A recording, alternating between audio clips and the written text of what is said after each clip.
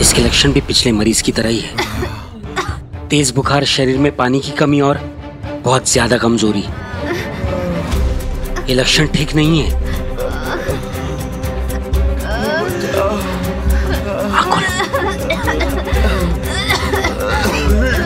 सौ से भी ज़्यादा मरीज़ पिछले हफ़्ते से इस बीमारी से पीड़ित हैं। बच्चे बूढ़े जवान इस बीमारी ने किसी को नहीं बख्शा। यहाँ दुख रहा है? डॉक्टर साहब हालत तो ये है कि बाहर इंतज़ार कर रहे मरीज़ भी इन्हीं लक्षणों की शिकायत लेकर आए हैं। मामला बहुत गंभीर है।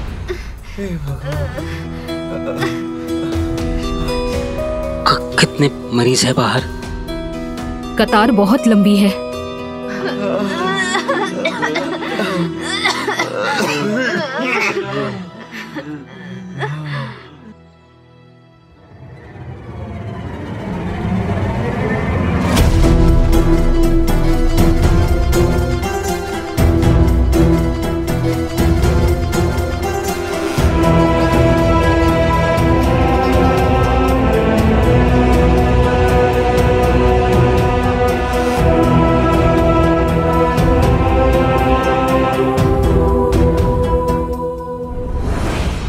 अगर मैं गलत नहीं हूँ तो ये वही बीमारी है जो कुछ साल पहले बंगाल प्रांत में मैंने देखी थी। ये बीमारी बहुत तेज़ी से महामारी में बदल जाती है और कोई नहीं जानता कि कैसे फैलती है। इसके रोकथाम के लिए क्या किया जाए?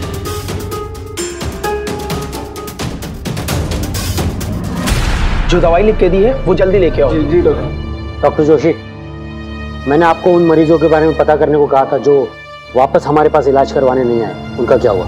सर जो लोग दोबारा इलाज के लिए नहीं आ पाए वो लोग मर चुके हैं सर।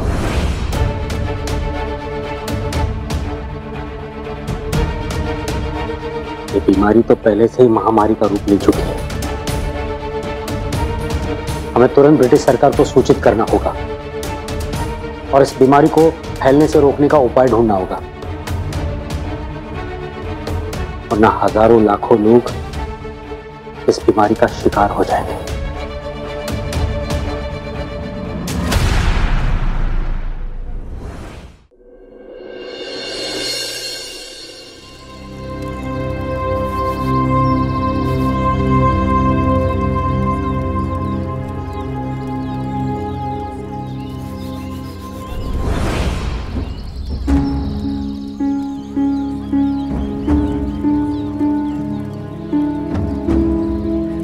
पहले मैं जाऊँगा अरे पहले मैं आया था। मैं बहुत पहले से खड़ा हूँ। बहुत पहले से कैसे खड़े हो भाई? पहले मैं जाऊँगा। अरे पहले कैसे पहले मुझे जाने दो भाई। नहीं नहीं नहीं, सबसे पहले मैं आया था। पहले मैं जाऊँगा पहले। अरे कब से खड़ा हूँ मैं? अरे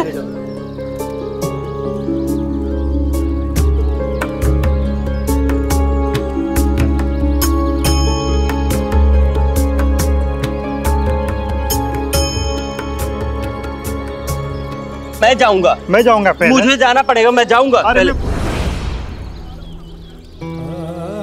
साही किसी सोच किसी तनाव में है। इन्हें परेशान मत कर। एक काम करते हैं। मैं इन्हें कतार में खड़ा करता हूँ और साई जो गाँव वालों के लिए फल लाए हैं। तुम उनमें बांट दो। हाँ ठीक है। नहीं बोला ना पहले मैं जाऊँगा। अरे पहले मैं जाऊँगा। पहले मैं आया था। काका शांत हो जाइए। लड़िए मत। सबको साई से मिलने का मौका मिलेगा। आइए कतार में आइए। तुमने देखा ना मैं यहाँ बहुत पहले से खड़ा हूँ। अच्छा तो ठीक है आप पीछे चलिए। अच्छा ये आपके जानने वाले हैं इसलिए पहले ये जाएँगे?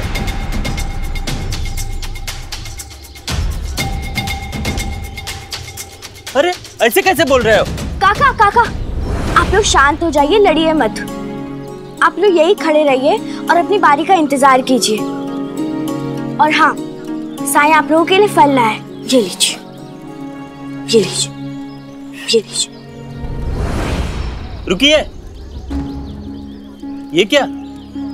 मुझे एक छोटा सा अमरूद और उसको उतना बड़ा अनार? काका मैंने किसी का चेहरा देखकर नहीं दिया। जो हाथ में आया वही दे दिया। ये पक्षपात है। मेरे साथ भेदभाव हो रहा है। तुम ऐसा नहीं कर सकती जिप्री। साईं कहते हैं कि यहाँ सब एक बराबर है। तो ये भी बराबर होना चाहिए ना? काका आप आप जिपरी को ऐसा क्यों कह रहे हैं? उसने कहा ना उसने जानबूझ के नहीं किया।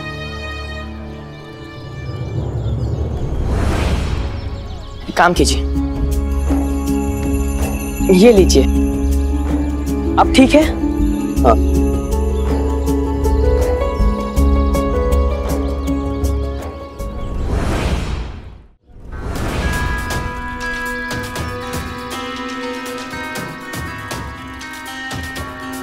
आप सब क्यों आते हैं यहाँ? आपसे मिलने सही लेकिन क्यों?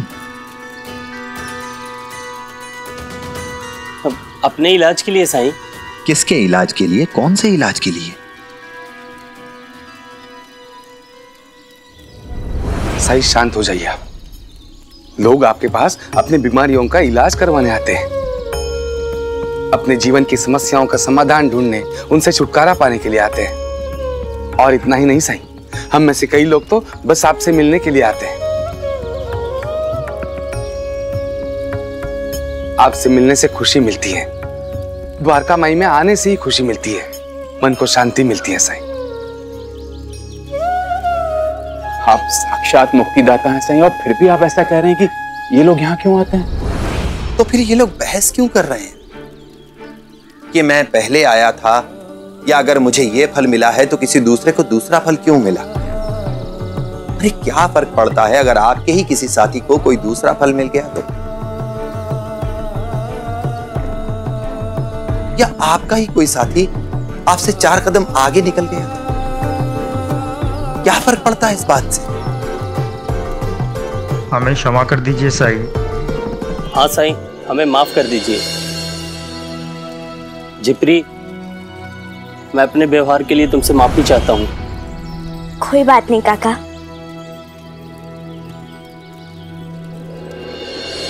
कितना विचित्र होता है ना अहंकार। जब ये सर उठाता है तो इंसान भूल जाता है कि उसे कौन सी तकलीफ़ थी कौन सी बीमारी थी। अगर याद रहता है तो बस सिर्फ़ ये कि किसे क्या मिला। कौन कितना आगे निकल गया? जबकि सच ये है कि ईर्ष्या, आसक्ति, क्रोध, लोभ, मोह, वासना जैसे मानसिक विचारों से ग्रसित होना ही असली रोग है। और असल में इंसान के मन के ये शत्रु कहीं बाहर से नहीं बल्कि उसके ही अपने अहंकार से उपजे हैं। अपने इन मानसिक विकारों को, इन रोगों को पहचानो, इनसे सचेत रहो। इन्हें दूर करने का प्रयास करो। तभी तुम किसी भी संकट का सामना करने के लिए, किसी भी मुसीबत से लड़ने के लिए खुद को तैयार पाओगे।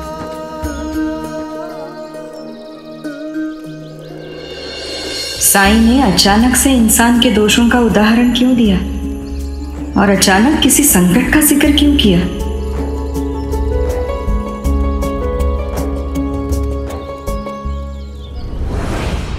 सर, हमने नासिक तक के सारे नगरों में मुआयना किया। कहाँ कहाँ, कितनी खाली ज़मीन है, सब लिखा इस रिपोर्ट में। पर अचानक इतनी खाली ज़मीन क्यों चाहिए, sir? A very dangerous disease is spread in this area. It started in Bombay, and now, as the doctor said, it's spreading to the outskirts of Bombay as well.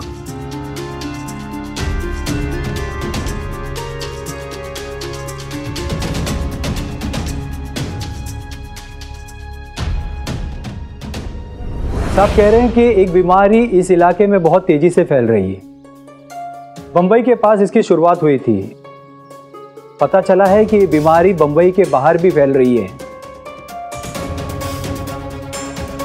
और कोई नहीं जानता कि ये बीमारी कैसे फैलती है और इसका इलाज क्या है। इसलिए जिसमें भी इस बीमारी के लक्षण मिलते हैं, उन्हें एकांत में भीड़ भाड़ से दूर रखने के लिए हमें ढेर सारी ज़मीन चाहिए, ताकि स्वस्थ लोगों को बचाया जा सके। ये बीमारी ऐसी है जो पूरे गाँव या शहर को मार सकती है।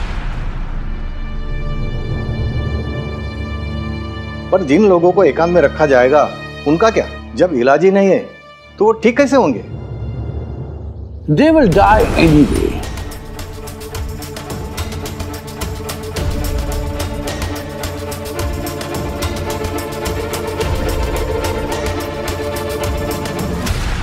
जिन्हें ये बीमारी हो गई है, उनका मरना तो पक्का है। इसलिए जितने स्वस्थ लोगों को हम बचा सके, वो बेहतर है। तुम लोगों को आसपास के गाँव में भी जाना होगा और ऐसे इलाके की पहचान करनी होगी। इसके बारे में गाँव के मुखिया को, प्रधान को, पाटिल को और तहसीलदार को इस बीमारी के बारे में बताओगे। और उनसे कहोगे, जिसमें भी बीमारी के लक्षण दिखाई दे, उन्हें एकांत में भीड़ भाड़ से दूर रखने के लिए एक इलाका तय कर ले, एक छावनी बना ले। और हाँ किसी भी वक्त तुम्हें ऐसा मरीज़ मिले, उसे उसी वक्त इस छावनी में भेज देना। और इस महामारी को रोकने के लिए तुम्हें जो भी ज़रूरी लगे वो करो। Is understood understood? सर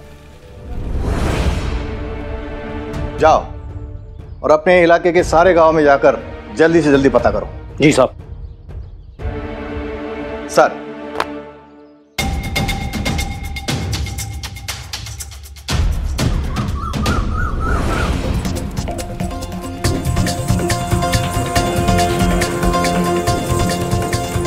मेरा पथ आलोकित करिए प्रकाशित करिए मुझे राह दिखाइए मालिक।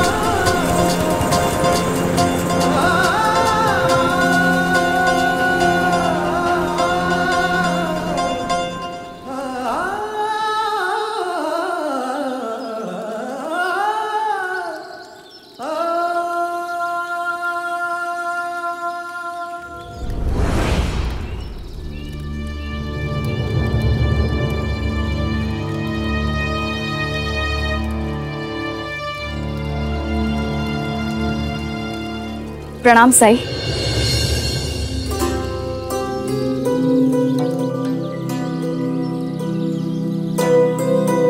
आप परेशान लग रहे हैं? नहीं जीवताई मैं ठीक हूँ। नहीं साई कुछ तो है।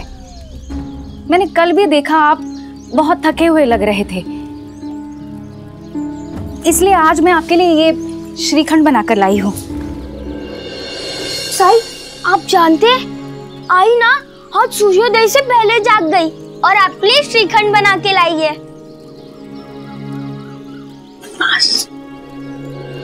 मैं जानता हूँ जीवताई कि आप हमेशा मेरे लिए कुछ न कुछ करने को आतुर क्यों रहती हैं। क्योंकि आप अभी तक अपने अपराध बोध की ग्लानि से मुक्त नहीं हो पाई हैं। है ना? हाँ सही।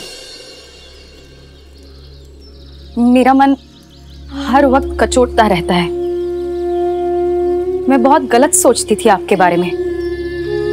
बहुत गलतियाँ की है मैंने। बहुत तिरस्कार किया आपका। लेकिन इसके बावजूद भी आप मेरे लिए समाज के नियमों से लड़ गए। दादा से लड़ गए आप। एक विधवा को आपने नई ज़िंदगी दे दी, साई। आपकी कृपा से मेरा घर आँगन खुशियों से भर गया है। लेकिन साई फिर भी हर रोज मुझे यही लगता रहता है कि मैं खुश होने के लायक नहीं हूँ। आपकी बहुत कृपा है मुझ पर। अब और कुछ तो मुझे आता है नहीं। बस आपकी थोड़ी बहुत सेवा करने की कोशिश करती रहती हूँ। सेवा में बहुत शक्ति होती है जीवदाई इसे मुझ पर व्यर्थ मत करो। व्यर्थ कैसे साई क्योंकि सेवा फलदायी तभी होती है जब उससे किसी जरूरतमंद का भला हो। अब भला मेरी सेवा की किसे ज़रूरत हो सकती है? गाँव की औरतें मुसीबत में होती है तो बाईजा अक्का के पास जाती है। अब साई ना ही मैं उतनी बुद्धिमान हूँ और ना ही मेरी उतनी योग्यता है। योग्यता और बुद्धि तो सब में होती है जीवदाई और योग्यता समय पड़ने पर खुद ब खुद बाहर आ जाती है। हो सकता है आपको भी अपने जीवन में ये मौका मिले। जब आपके परिवार को, आपके आसपास रहने वालों को आपकी सेवा की ज़रूरत हो।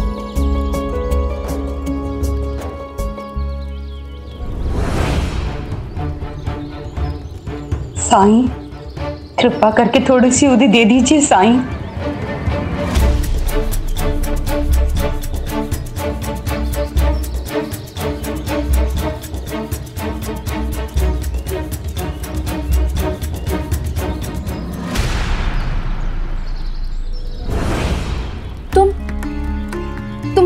कहीं सुनी है मैंने। आ, नहीं ताई मैं तो दूसरे गाँव से शिरडी आई हूँ।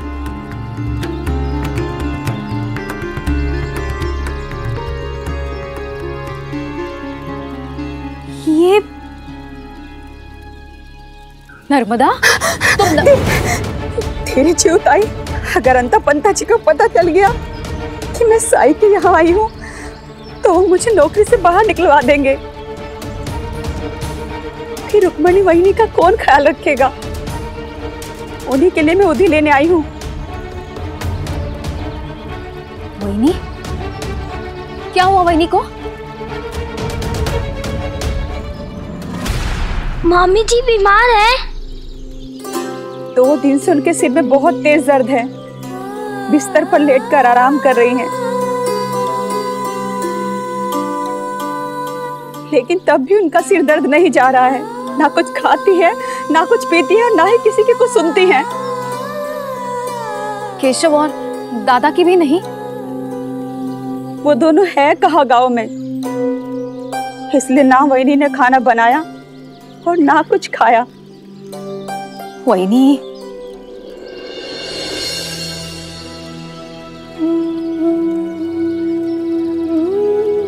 मुझे नहीं लगता कि आपकी रुक्मिणी बहिनी को मेरी ऊदी की ज़रूरत है। उन्हें ज़रूरत है तो परिवार के किसी सदस्य द्वारा प्यार से बनाए खाने की। और उस खाने को प्यार से खिलाने वाले की। जाइए चिवताई ये श्रीखंड अपनी रुक्मिणी बहिनी को खिलाइए। जाइए।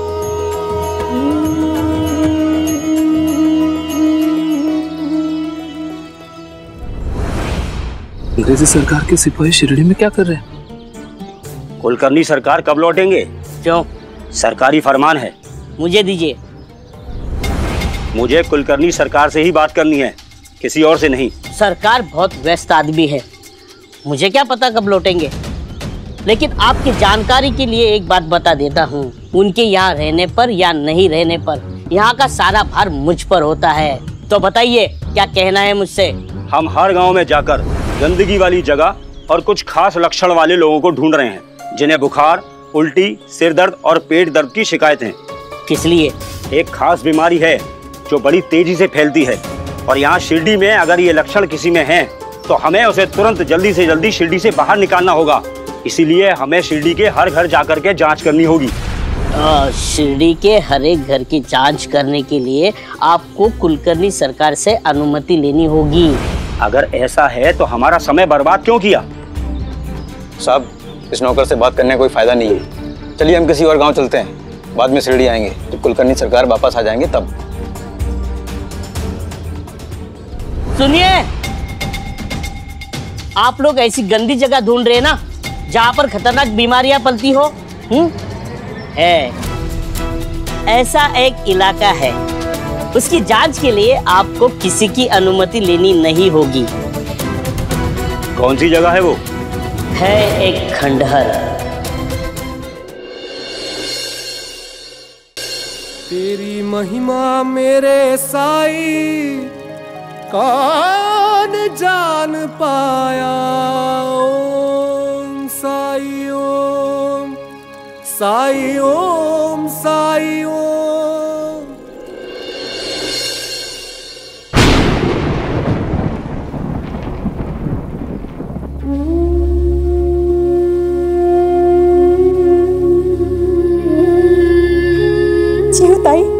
आ गई आप। चलिए जल्दी चलिए। मुझे दो। मैं लेकर जाती हूँ। ये लीजिए। चलो।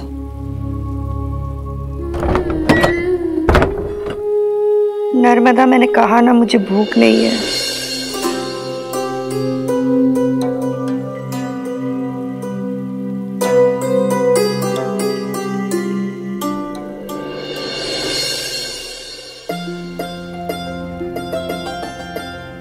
गोविंदा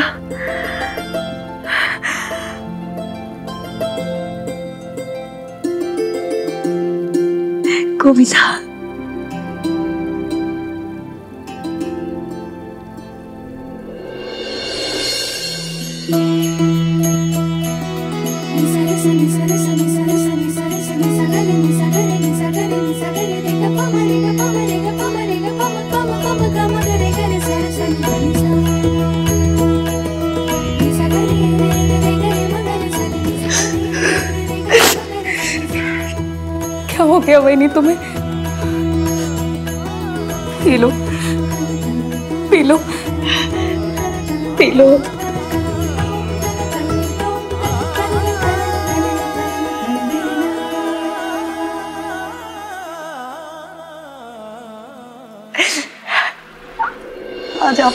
देखकर मुझे बहुत खुशी हो रही है। चिवताई मैं मैं हमेशा चाहती थी कि मैं आपको ऐसे मंगलसूत्र और कुमकुम में देखूँ।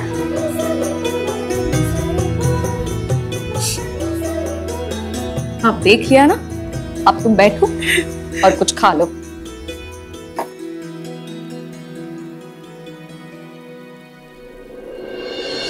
तुम बिल्कुल कुछ भी खा नहीं रही हो। क्यों? खाओगी नहीं तो ठीक कैसे होगी? खाओ।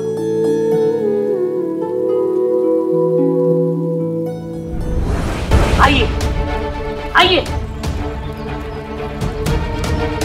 देखिए।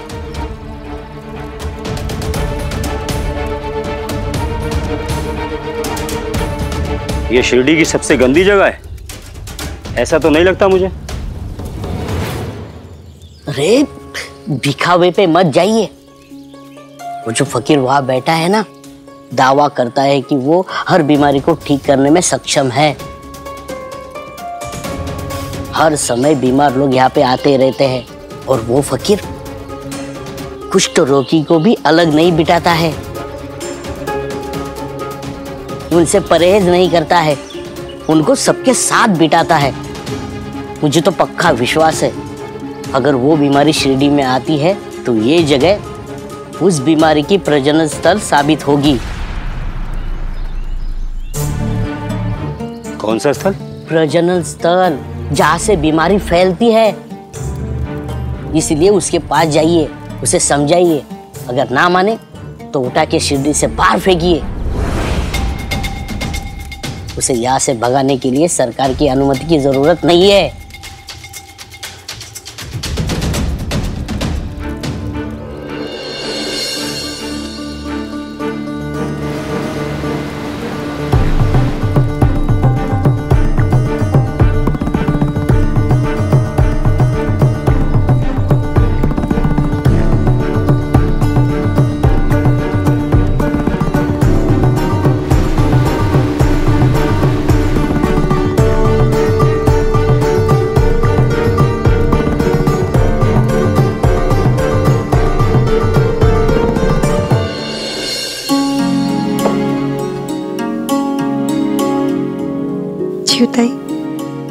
मैं ठीक हो गई हूँ। यहाँ आने के लिए शुक्रिया।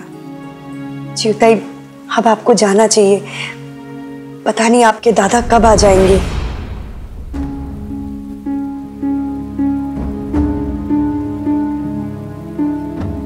ठीक है वहीनी मैं चलती हूँ।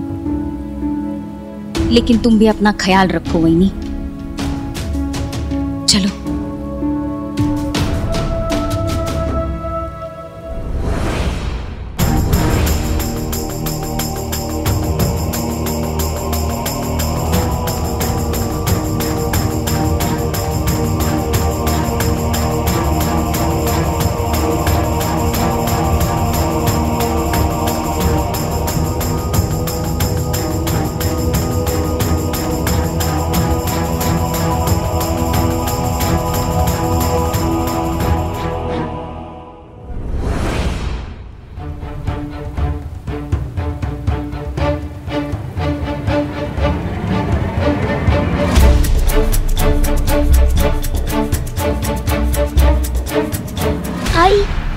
बहुत प्यास लगी है। पानी चाहिए। चलो मैं देती हूँ।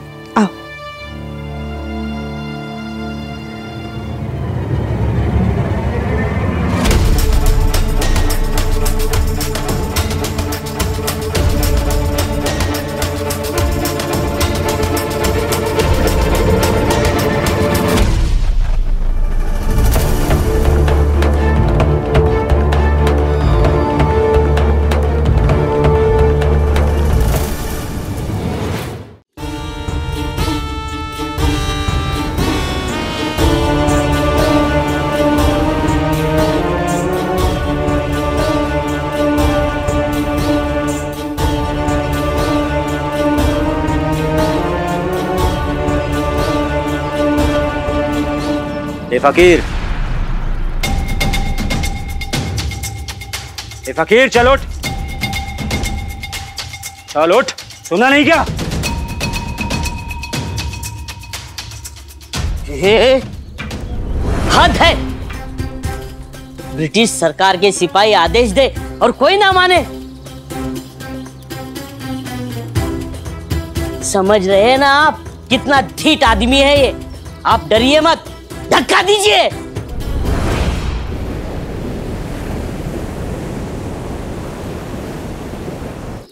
उठाओ उसे। तुम अपने इरादों में कभी कामयाब नहीं हो सकते। मैं जानता हूँ तुम शिरडी वासियों को शिरडी से बाहर निकाल देने के लिए आए हो। पर याद रखना मालिक उस पर भरोसा रखने वालों की रक्षा ज़रूर करता है। ज़रूर।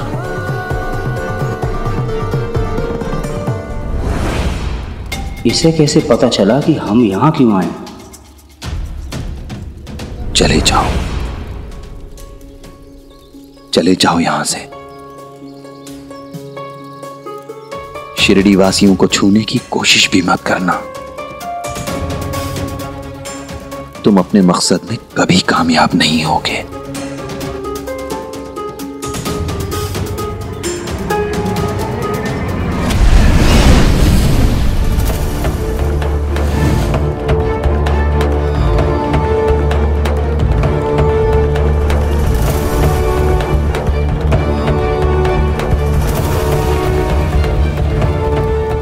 अरे मूर्ख, ये किस अघोरी के पास ले आया मुझे? चलो यहाँ से। इससे तो हम बाद में निपटेंगे। आओ।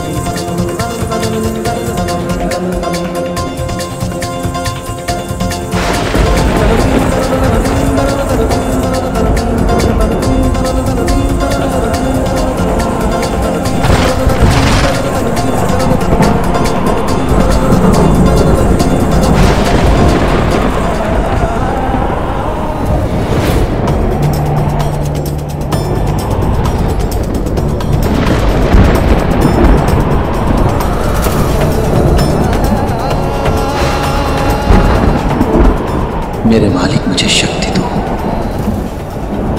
हम सबको शक्ति दो। यहाँ जो कुछ भी होने वाला है, उससे उबरने के लिए मुझे आपकी मदद की ज़रूरत है।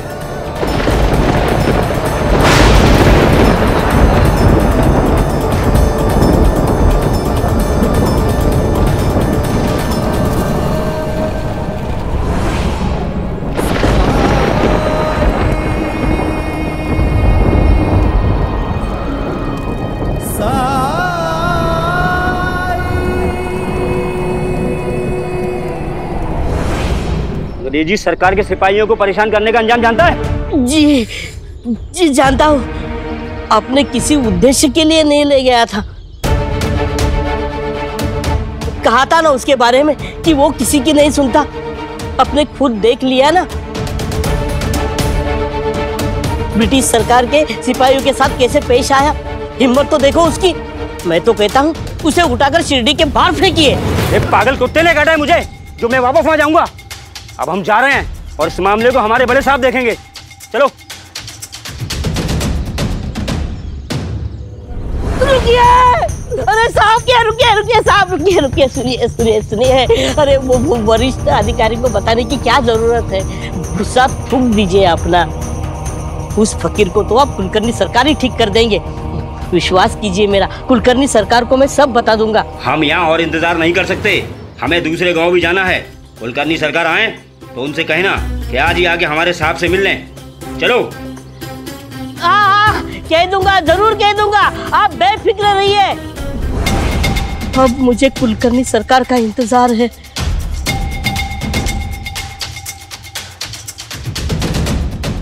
मेरे वाड़े में पैर रखने की हिम्मत कैसी हुई तुम्हारी? क्षमा मांगने आई है। या क्षमा मांगने के बहाने कुछ चुराने। मामा जी आई को चोर मत कहिए। हमें पता चला है कि मामी जी बीमार है तो हम उनको मिलने आए थे।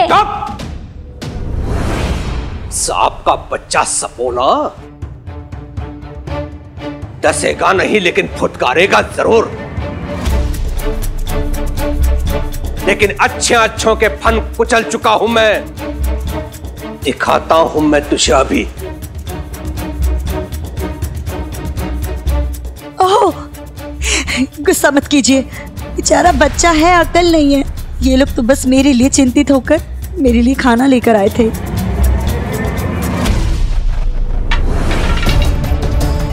क्या कहा तुमने? खाना लेकर? इसका अर्थ यह है कि तुमने इसके घर का अन्न ग्रहण किया, रुक्मिणी।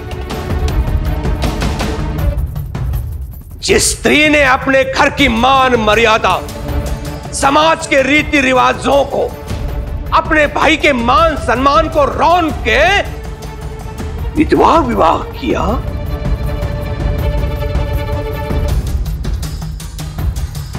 ऐसी अधर्मिनी कुलकलंकिनी के परछाई से भी आदमी बचता है और तुमने इसके घर का अन्न ग्रहण किया, रुक्मिणी।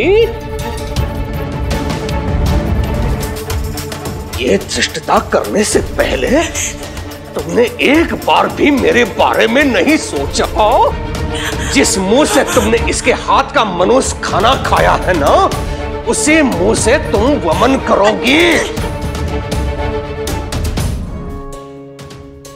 मेरा गुस्सा वहीनी पर क्यों निकाल रहे हो? वो पहले ही अस्वस्थ है। तुम उसको उल्टी करने पे विवश क्यों कर रहे हो? तुम्हारी दुश्मनी मुझसे है ना, दादा? तुम मुझे दंडित करना चाहते हो ना? तो ठीक है, करो मुझे दंडित। इंतज़ार किस बात का कर रहे हो, दादा? दो मुझे सजा। दो? इसके अलावा और आता भी क्या है तुम्हें दादा? लोगों को डराना धमकाना उन्हें सजा देना। यही करते आए हो ना आज तक तुम? पर ये सब करके क्या हासिल किया तुमने? चुप! ये मत भूल कि तुम मुझसे बात कर रही है। साई ने सिखाया है अगर तुम गलत नहीं हो तो किसी से भी डरने की ज़रूरत नहीं है। बस, अब तब से धीरे धीरे हिम्मत आ गई है, दादा। दादा, मत कहना मुझे। दादा, मत कहना। तेरा मेरा कोई संबंध नहीं है। इसलिए तू भूल गई है कि इस बाड़े में मेरे समक्ष उस पाखंडी के पाखंड का गुणगान करना अपराध है। निकल जा यहाँ से। इसी समय नहीं तो धक्के मार के निकालूँगा यहाँ से तुम्हें। जाओ।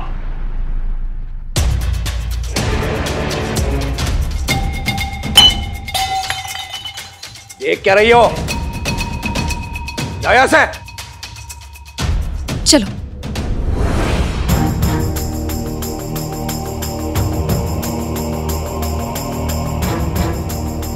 क्या संदेश है?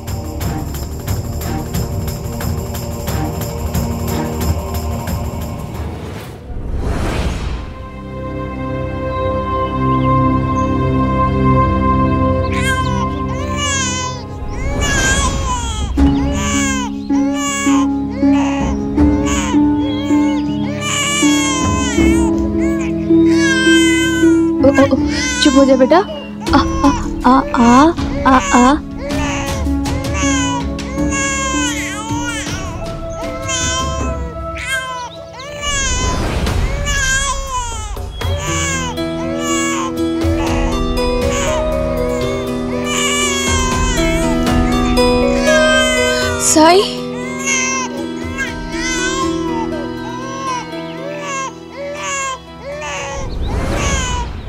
प्रणाम साई। अच्छा वाह आप आ गए देखिए ना मेरा बेटा कब से रोए जा रहा है। कब से रो रहा है? आधा पैर हो गया है साई। हर कोशिश करके हार गई। दूध पिलाया माथे पे पानी की पट्टी भी रखी। लेकिन ये चुप होने का नाम ही नहीं ले रहा है। बीमार तो नहीं है।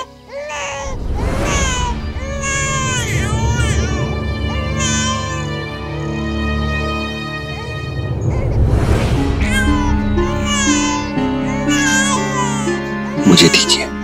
जी साई।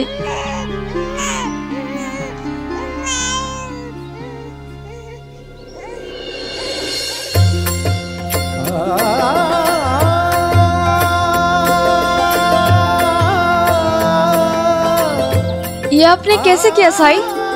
आपके छूते ही ये चुप हो गया? मैंने कुछ नहीं किया।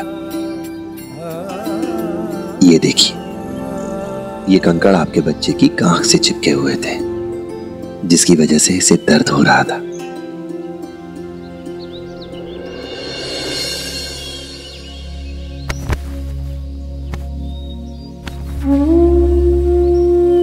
मुझे माफ़ करना, साई। मुझे पता ही नहीं चला कि कब ये चिपक गए, और मेरी नज़र में भी नहीं आए। जब मैं इसे नहलाती या कपड़े बदलती तो मुझे पता चलता। लेकिन हुआ है कि कल रात को बारिश हुई तो अचानक ठंडक बढ़ गई। तो मुझे लगा कि मैं इसे नहीं नहलाऊं और कपड़े भी नहीं बदले। माफ़ करना साई।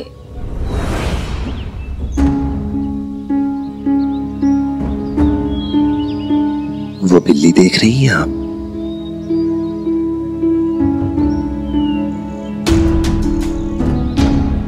काली बिल्ली? ये कब आई? ये तो अब शकुन है।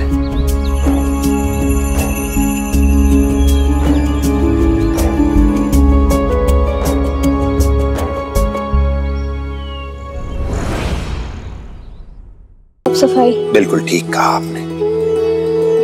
बिल्ली एक छोटा सा जानवर खुद की साफ़ सफ़ाई के लिए कितना जागरूक है। कितना साफ़ सुथरा रखता है स्वयं को। हमें उससे शिक्षा लेनी चाहिए सीख लेनी चाहिए। खुद को और अपने आसपास के परिवेश को साफ़ सुथरा रखना चाहिए हमें। क्योंकि बीमारियों से बचने का यही मूल मंत्र है। अभी कुछ देर पहले आपने कहा कि कल रात बारिश हो गई तो ठंड बढ़ गई। इसलिए आपने अपने बेटे को नहलाया नहीं। उसके कपड़े इसलिए नहीं बदले क्योंकि आपको लगा कि कपड़े गंदे हुए ही नहीं है। और कपड़े ना बदलने की वजह से ही ये कंकड़ इसकी कांख में छिपे रह गए। शुक्र है कि सही समय पर कंकड़ निकल गए। वरना इन कंकड़ों के कारण आपके बेटे के शरीर पर घाव भी हो सकते थे। मैं समझ गई साई। मैं अभी पानी गर्म करके इसे नहला दूँगी। और कोशिश करूँगी कि इसे धूल मिट्टी से दूर रखूँ। मिट्टी में खेलेगा नहीं तो मिट्टी से जुड़ेगा कैसे? पर हाँ आपको ये याद रखना होगा कि जहाँ ये खेले वो मिट्टी साफ़ सुथरी हो। वहाँ गंदगी ना हो। क्योंकि जहाँ स्वच्छता नहीं होती वहाँ रोग होते हैं। धन्यवाद साई मेरी आँखें खोलने के लिए। मैं आपसे वादा करती हूँ मैं अपनी आसपास की जगह को साफ़ रखने की हर संभव कोशिश करूँगी। राम जी भला करें।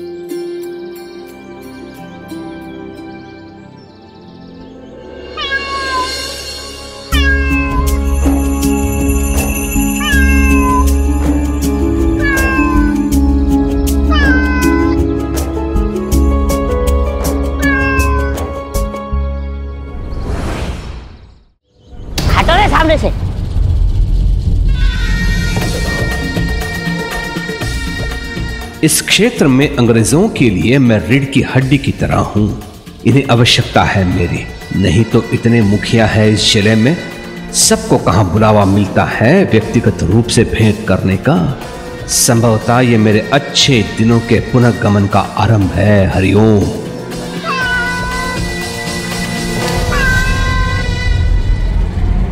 रुको।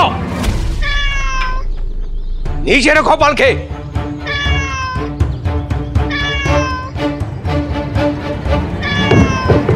के अंधो तुम में से किसी ने भी उस काली बिल्ली को नहीं देखा।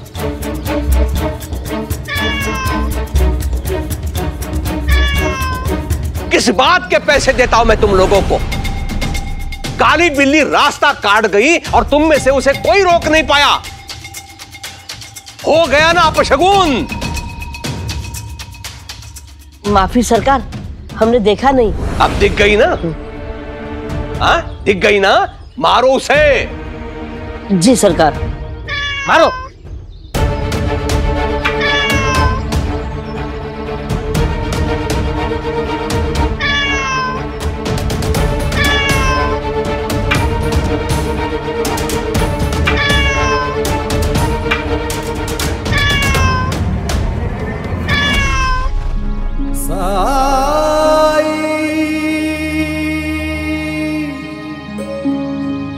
आप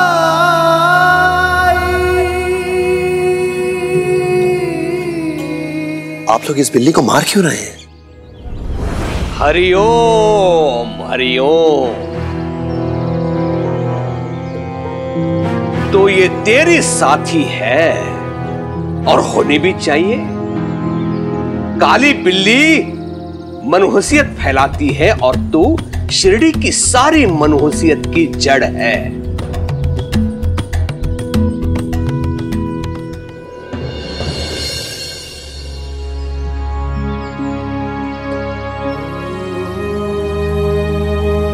इस संसार में कुछ भी मनहूस नहीं होता है। ए, तुझसे बहस करने में मुझे कोई रुचि नहीं है। वो बिल्ली मुझे दे और चल निकल यहाँ से। तेरा तो उद्देश्य ही है मेरे काम में टांग अड़ाना। तेरे पास कुछ काम नहीं है लेकिन शिरडी का मुखिया होने के नाते मेरे पास बहुत काम है। खुद को शिरडी का राजा कहते हैं। और एक छोटी सी बिल्ली से डरते हैं आप।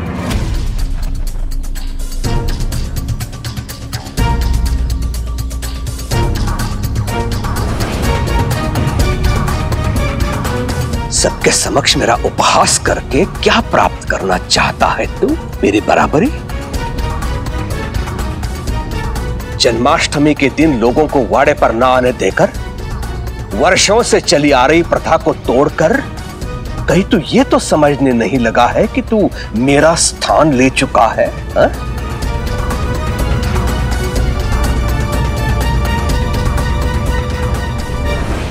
इस संसार में कोई किसी की जगह नहीं ले सकता है कुलकर्णी सरकार। और बची बात जन्माष्टमी की प्रथा में भाग लेने की। तो प्रथा उन लोगों से बनती है जो उसमें भाग लेते हैं। जब तक लोग चाहते हैं प्रथा चलती रहती है, और जिस दिन लोगों के विचार बदलते हैं, प्रथा बदल भी सकती है। क्योंकि परिवर्तन प्रकृति का नियम है और जो इस नियम को स्वीकार नहीं करता, वो अपने पतन को निमंत्रण देता है। तो खुद में परिवर्तन ला, बैरागी। मेरे मार्ग में आना बंद कर। नहीं तो तेरा पतन निश्चित है। वो बिल्ली मेरे नौकरों को सौंप दे। चल। कुलकर्णी सरकार, आने वाला समय शिरडी के लिए बहुत चुनौतीपूर्ण है। शिरडी को आपकी मदद की ज़रूरत होगी और आप शिरडी की मदद तभी कर पाएँगे जब आप अपने स्वार्थ, क्रोध, लोभ और मोह से ऊपर उठकर सोचेंगे।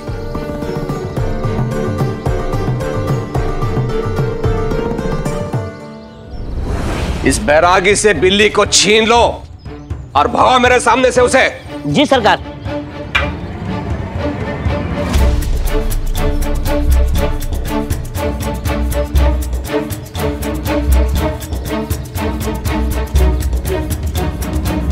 सरकार बिल्ली को छीनकर मार तो सकते हैं लेकिन अभी शुभ कार्य पे जा रहे हैं। ऐसे में खून खराबा कहीं अपशगुन ना हो जाए।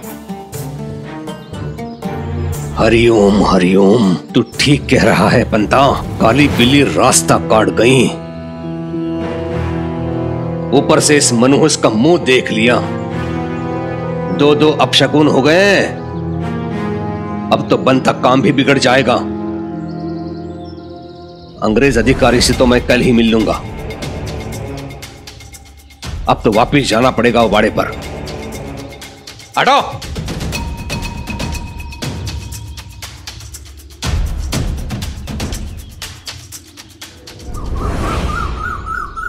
साहब का कहने का ये मतलब है कि हम सबको सतर्क रहना होगा माना कि ये रोग फैलने की शुरुआत बॉम्बे से हुई है पर ये कौन जाने कब ये शिरडी पहुँच जाए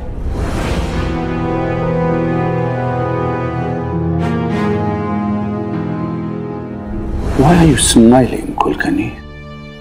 This is a very serious matter. साहब कह रहे हैं कि ये बहुत ही गंभीर मामला है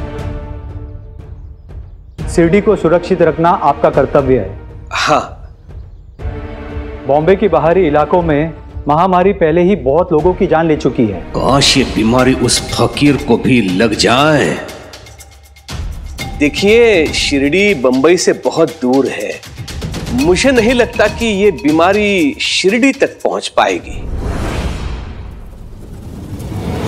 साहब का निर्देश है कि आप महामारी को हल्के में ना लें। और इस तरह का कोई बीमार इंसान आपको दिखे या कोई ऐसा बीमार आदमी आपके यहाँ इलाज के लिए आए जिसे तेज बुखार हो उल्टी हो शरीर में पानी की कमी और कमज़ोरी की शिकायत हो उसे हर हाल में महामारी शिविर भेजिए। महामारी शिविर? एक अस्थायी जगह जो गाँव और शहर की आबादी से दूर होती है। ऐसे स्थान पर संक्रमित रोगियों को रखा जाता है ताकि उनके माध्यम से स्वस्थ लोगों में बीमारी का प्रसार ना हो। और हाँ आपको तत्काल सीढ़ी के बाहर ऐसी जगह की व्यवस्था करनी है। इसका अर्थ ये है कि अंग्रेज़ी डॉक्टर ऐसे बीमारी से संक्रमित रोगियों का वहाँ आकर इलाज करेंगे? जी नहीं जहाँ तक मुझे पता है कि इस बीमारी से कोई नहीं बच सकता। इन शिविरों की स्थापना का उद्देश्य रोगियों को स्वस्थ लोगों से दूर रखना है। और ये बात भी सच है कि जो इंसान इन शिविरों में चला जाता है, वो लौट के दोबारा नहीं आता। हरिओम, ये तो अच्छा है। यदि जाने वाले वापस नहीं आते, अर्थात मर जाते हैं तो उनके खेतों को अपने नाम पर करवाने का मैं कोई ना कोई रास्ता निकाल लूँगा लेकिन इस शिविरों की स्थापना के लिए इतनी सारी खाली भूमि कहाँ से लाऊं?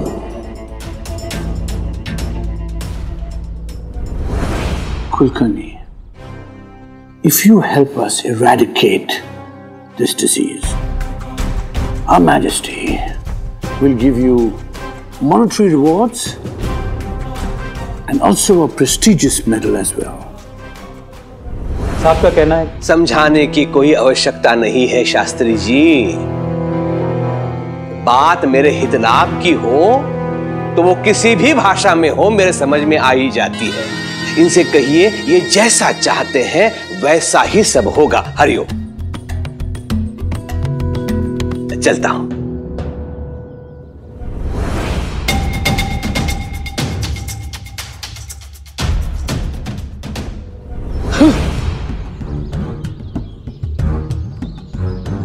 ये क्या कह रहे मरीजों पे नज़र रखो। लेकिन आजकल सरकार के पास दवा लेने कोई आता ही कहा है?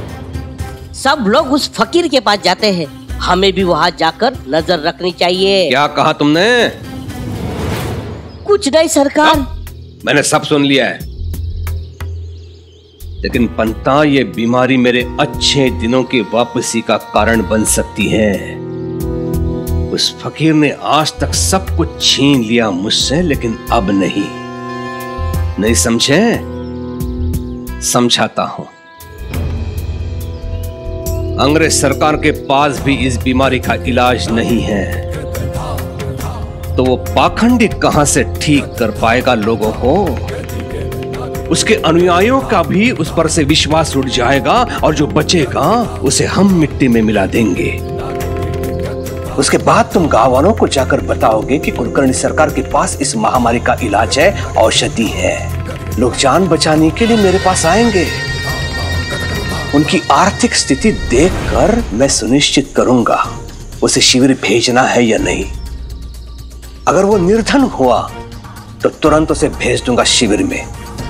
यदि धनवान हुआ तो धीरे धीरे जौ की तरह उसकी संपत्ति चूस लूँगा और फिर भेजूँगा उसे शिविर में।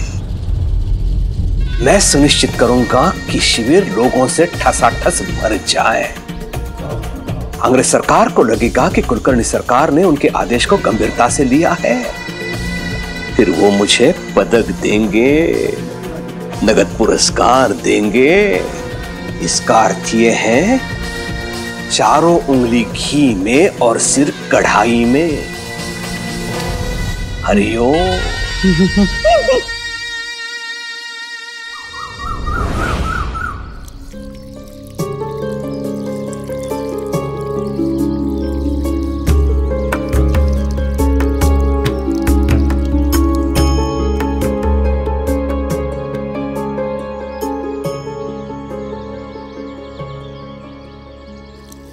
मैं जानता हूँ छुप कर तुम मुझे देख रही हो।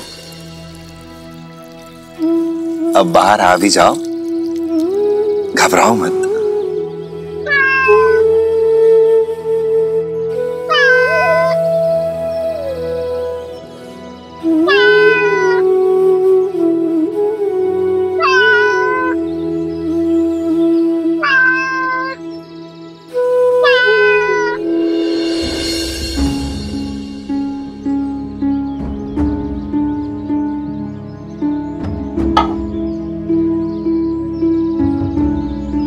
पता है तुम यहाँ किसी खास वजह से आई।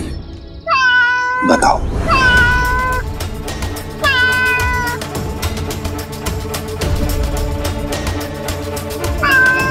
जानता हूँ। इस संकट का आभास पहले ही था मुझे। पर फिर भी शुक्रगुजार हूँ तुम्हारा कि तुम इतनी दूर से इस संकट, इस मुसीबत से आगाह करने के लिए आई हो मुझे।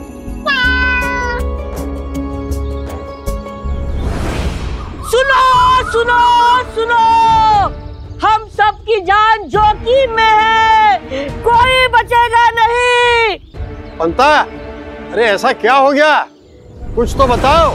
गंगाराम जी बंबई में रोज सैकड़ों लोग मर रहे हैं।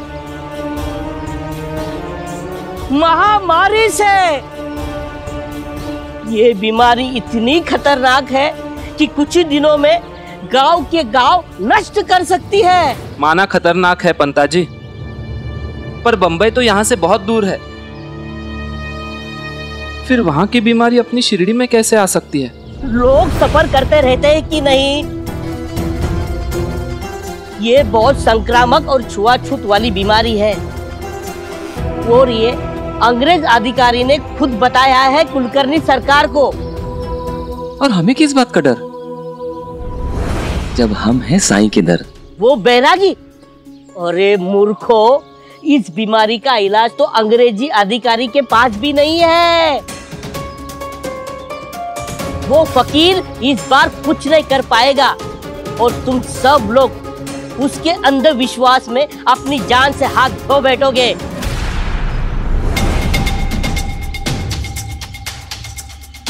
इन गाँव वालों पे तो मेरी बात का कोई असर ही नहीं हो रहा है। गंगाराम जी इन लोगों को छोड़िए। आपको तो मेरी बात पे यकीन है ना? ये फटीचर लोग मेरी बात माने या ना माने उससे मुझे क्या? मुझे तो आप जैसे लोगों की चिंता है जो इस गाँव के करता धरता है। ये तो है। लेकिन इससे बचने का कोई तरीका है कि नहीं? है। एक है। क्या?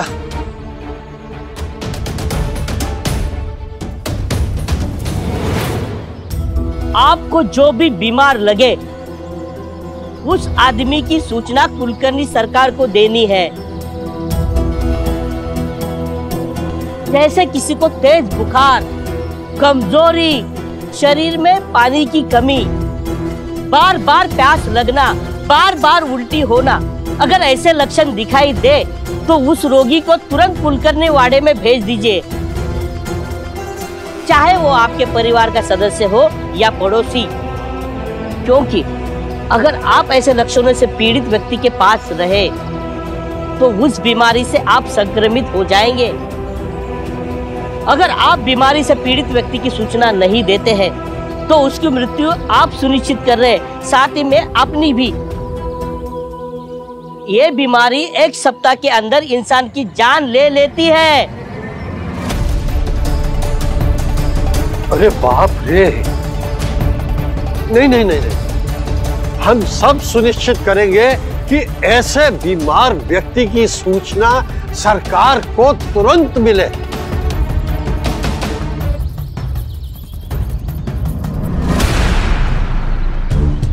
चलो, इतना तो कर दिया मैंने। कि अब कोई बीमार व्यक्ति सरकार की नज़र से बच नहीं पाएगा। और इस बार तो सरकार से इनाम लेकर रहूँगा। आई आई आई फिर बहुत दर्द कर रहा है। आई गोविंदा? यहाँ बैठ। आई आई बहुत प्यास लग रही है। पानी चाहिए। पानी? आ, आ, आ, फिर आई गोविंदा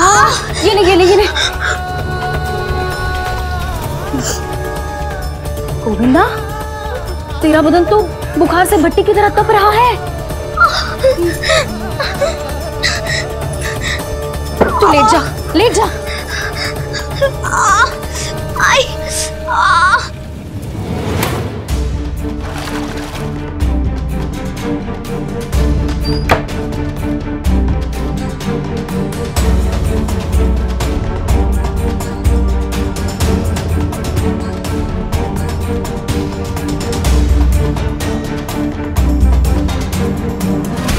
गोविंदा! गोविंदा!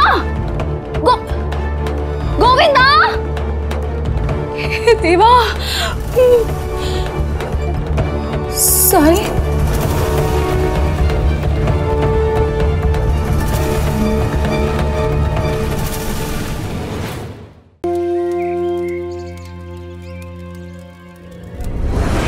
घर में सब ठीक तो है ना? जी साई आपकी कृपा से सब कुशल मंगल है।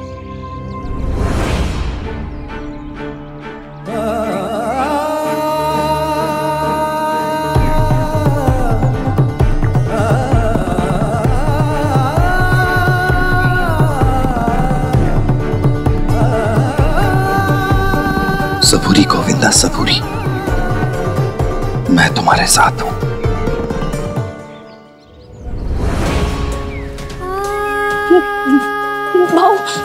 साई को कहीं देखा? नहीं। नहीं।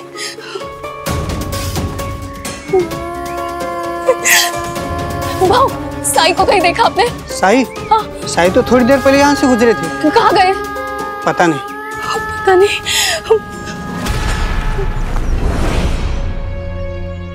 गोविंदा की हालत नाजुक है। उसे इलाज की ज़रूरत है। साई भी नहीं है। मैं क्या करूँ? कहाँ जाऊँ?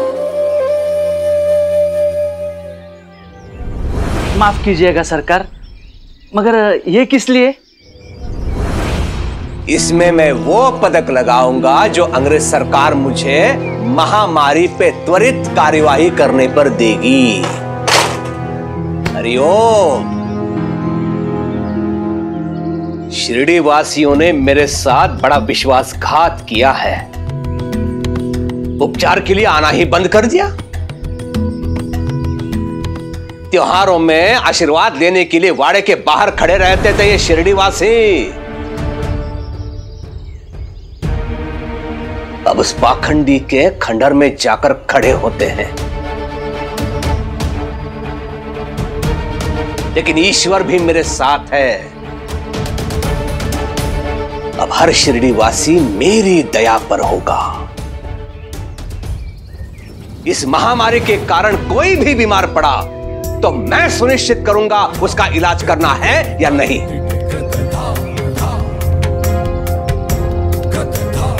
जिसकी भूमि में अधिग्रहण कर सकता हूँ, उसे औषधि दूँगा। और जिससे मुझे कोई लाभ नहीं, उसे मैं सीधा भेज दूँगा महामारी शिविर में। अब पता चलेगा शिरडी वासियों को शिरडी के असली राजा कुलकर्णी सरकार थे, हैं और रहेंगे। हरिओम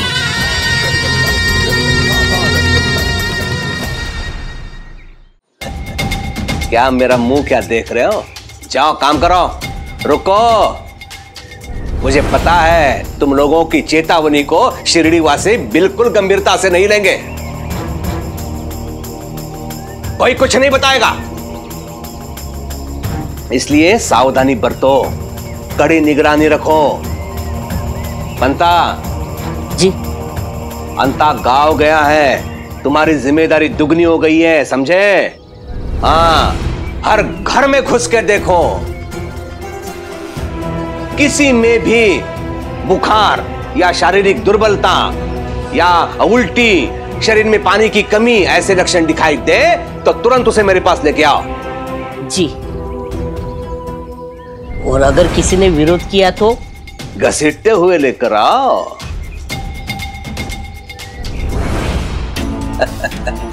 महामारी से पीड़ित रोगियों के साथ कीट पतंगों के भांति व्यवहार किया जाता है इंसानों के भांति नहीं। समझ रहे हो? अच्छा। हाँ जाओ। जी सरकार।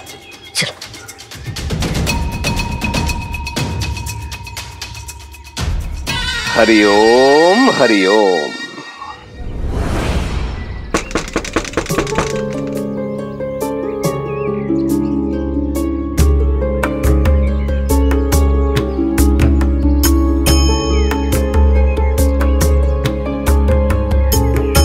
पिछले दरवाजे पे कौन आ सकता है?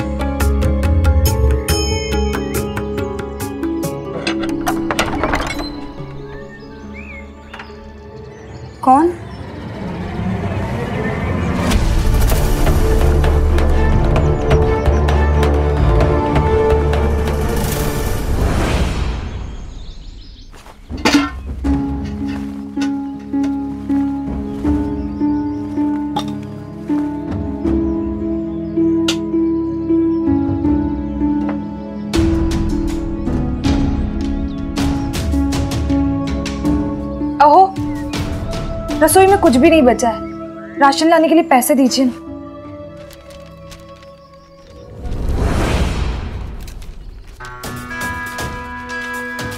बस, इतना? इतने में क्या आएगा? थोड़ा सा अनाज आएगा, और वो हम लोगों के लिए पूरा नहीं होगा। थोड़े और पैसे दीजिए ना। मेरे पास जितने पैसे थे, मैंने दे दिए। और इतने में ही पूरे महीने का खर्च चलाना पड़ेगा।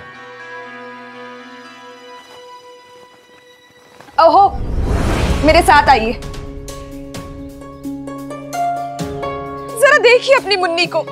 अरे, उसके पास पहनने के लिए अच्छे कपड़े तक नहीं है। अरे, कम से कम अपनी बेटी को तो कपड़े दिला सकते हो। कपड़े तन ढकने के लिए होते हैं, दिखावे के लिए नहीं। और क्या बुराई उसके कपड़ों में? थोड़े पुराने हैं तो क्या हुआ? दुनिया में बहुत सारे ऐसे लोग हैं जिनके पास कपड़े खरीदने तक के लिए पैसे नहीं है। जीवन सादा और विचार उच्च होने चाहिए इंसान के। अरे मेरी फूटी किस्मत। किस कंजूस के पल्ले में बन गई? अरे, इतना पैसा बचा के क्या कीजिएगा? जब हम ही नहीं बचेंगे। अरे, कपड़े पे खर्च ना सही, लेकिन खाने पीने पे तो कीजिए। देखिए देखिए जरा मुन्नी को, कितनी कमज़ोर हो गई है। मेरे लिए ना सही। लेकिन अपनी बेटी के लिए तो थोड़ा खर्चा कर सकते हैं ना। पेट भर के खाना तो खाती है ना? और क्या दिला दू मैं इसे? अगर मेरे पास मेवा मिष्ठान खरीदने के लिए पैसे होते तो मैं ज़रूर खिलाता। उसे क्या तुम्हें भी खिलाता? अब नहीं है तो मैं क्या करूँ?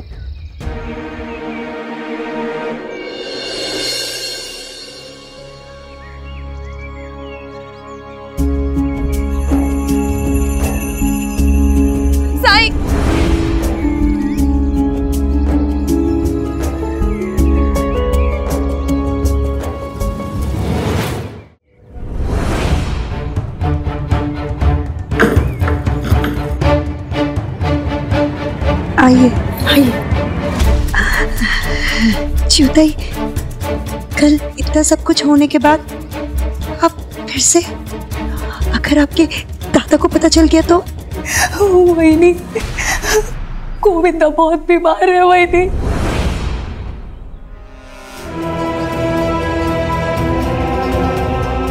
सारे लक्षण वैसे ही हैं जैसे सरकार महामारी के बारे में बता रहे थे। कहीं गोविंदा को महामारी वही नहीं अध्यापक जी, पाठशाला के काम से शिरडी से बाहर गए हैं। इसलिए मैं द्वारका आई गई। पर साई वहाँ नहीं थे। मैंने साई को बहुत ढूंढा, पर वो कहीं नहीं मिले। मुझे समझ में नहीं आया, वही मैं क्या करूँ? इसलिए मैं यहाँ चली आई वही। मुझे लगा, दादा, मुझसे भले कितना भी गुस्सा क्यों ना हो। अपने भांजे को ऐसी हालत में कम से कम वो वो मदद ज़रूर करेगा। आप कैसे भूल गई कि आपके दादा अपने अहंकार की पूर्ति के लिए किसी का भी बलिदान दे सकते हैं?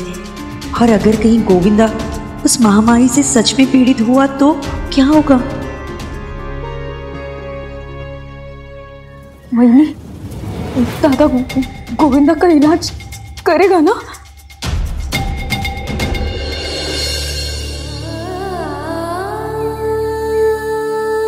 गोविंदा।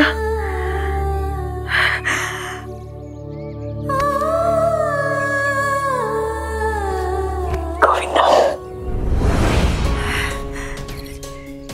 ज्योताई,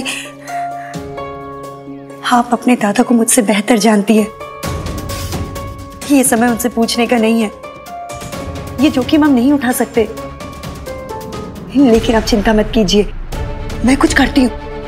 ऐसे लक्षण में वो सी औषधि देते मुझे पता है मैं अभी लेकर आती हूँ।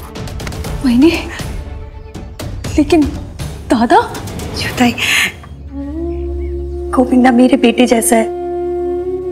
उसके लिए मैं इतना जोखिम तो उठा ही सकती हूँ ना?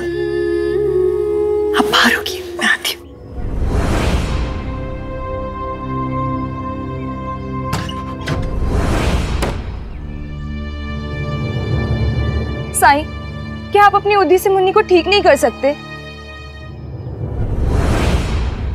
आपकी बेटी का इलाज ऊदी से संभव नहीं है। क्यों क्यों साई? क्योंकि आपकी बेटी को कोई बीमारी ही नहीं है। ये केवल कुपोषण की शिकार है। इसे ठीक करने के लिए पौष्टिक आहार की ज़रूरत है। और जब तक इसे भोजन में संतुलित आहार दूध दही घी नहीं मिलता इसकी तबीयत ठीक नहीं हो सकती। लेकिन साईं इसके लिए तो पैसे चाहिए। जो हमारे पास नहीं है।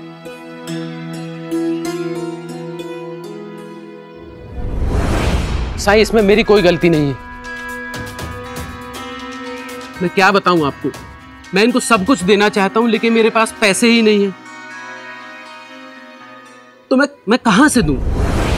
आपने बर्तन में जो पैसे छुपा कर रखे हैं उनमें से कुछ पैसे अपने परिवार पर क्यों नहीं खर्च करते? बर्तन में? लेकिन साईं हमारे पास तो पैसे हैं ही नहीं। हाँ साई बिल्कुल अगर हमारे पास पैसे होते तो मैं मैं अपने परिवार पर ज़रूर खर्च करता।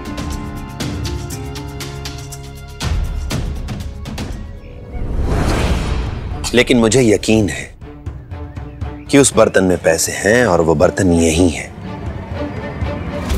मेरे पैरों के नीचे।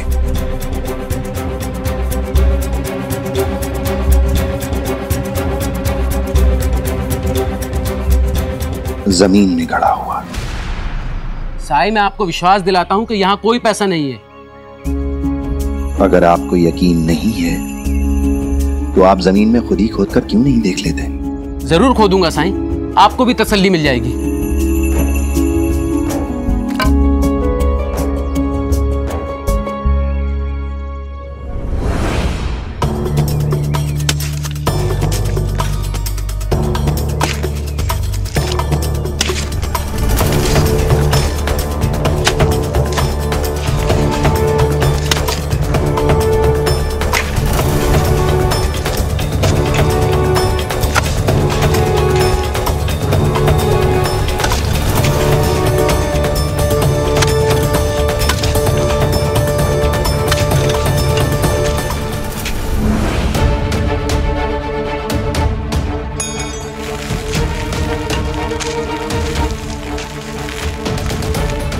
इसमें दीमक कहाँ से आई? दीमक हमेशा खाने की तलाश में ही आती है और खोदिए अंदर ज़रूर कुछ है।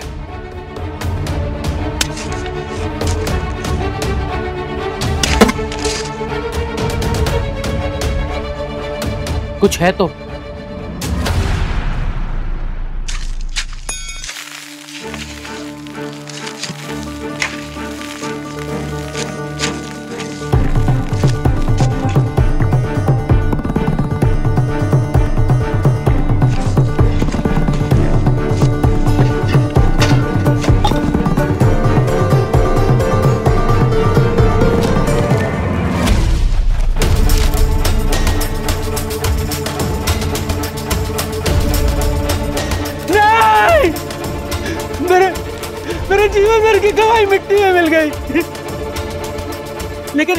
कहाँ से आया? इसको तो मैंने अपने घर के पीछे आँगन में गाड़ा था।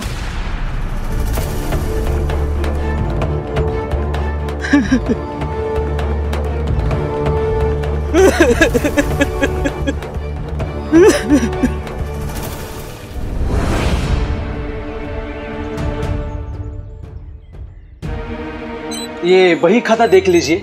मैंने इसे भी पूरा कर दिया है। हम्म।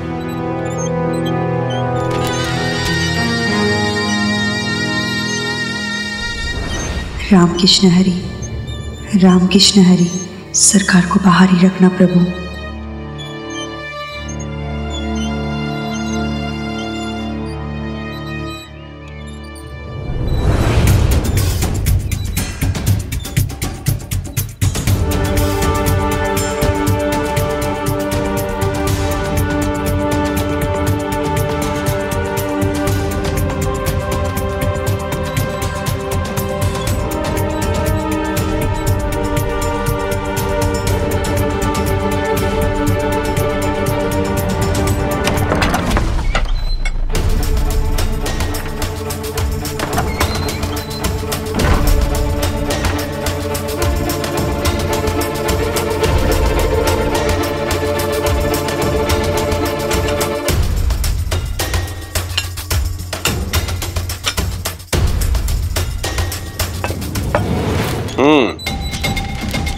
दूसरे गाँव का बही खाता कहाँ है? जी अभी दिखाता हूँ।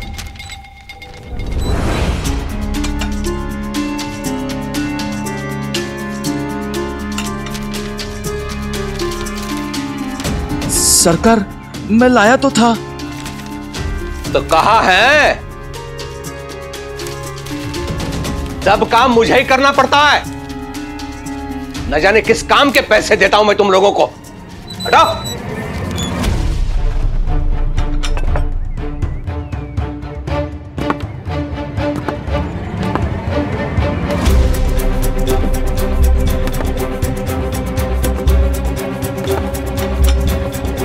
सरकार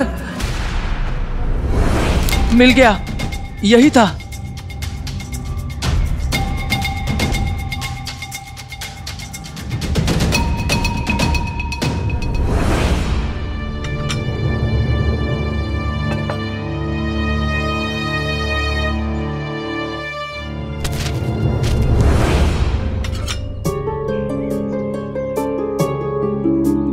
अगर गोविंदा को पेट की आम तकलीफ़ है तो सरकार की ये दवा काम करेगी।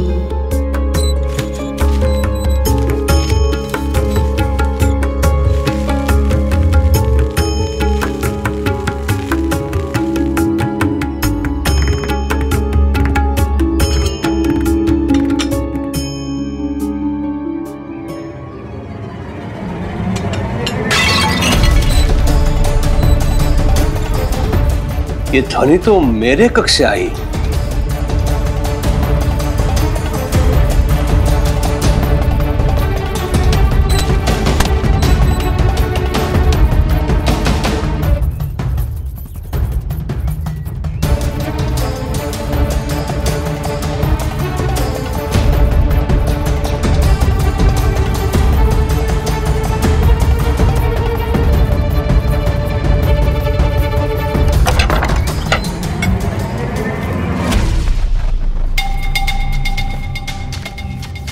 यहाँ क्या कर रही हो तुम? जी साफ़ सफ़ाई। तो शांति से नहीं कर सकती? उठा पटक क्यों कर रही हो? कारण आना पड़ा मुझे यहाँ। अब से सावधानी बरतूँगी।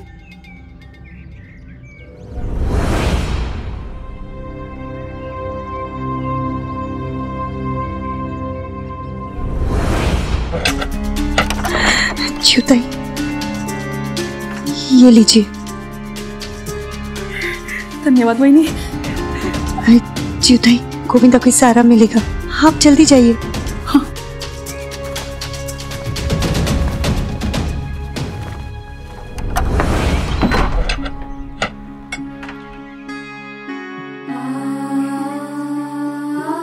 हे भगवान गोविंदा की रक्षा करना। वो उस महामारी से पीड़ित ना हो। जिसकी सरकार चर्चा कर रहे थे।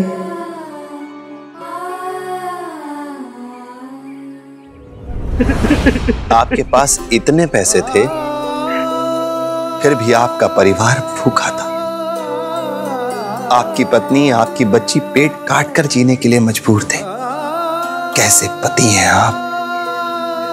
कैसे पिता हैं? साईं ये पैसे भी तो मैंने इन्हीं के लिए जोड़ के रखे थे। ताकि मुसीबत में काम आए। मुझे कभी ऐसा नहीं लगा कि मेरी बेटी मुसीबत में। जैसे आपने कहा कि वो कुपोषण का शिकार हो गई है। मैं तो ये सोचता था कि औरतों की तो आदत होती है फालतू पैसे खर्च करने की। इसलिए मैंने कभी ध्यान नहीं दिया।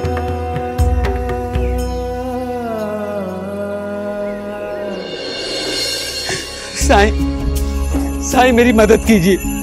ये क्या हो गया मेरे साथ? ये आपके ही कर्मों का फल है।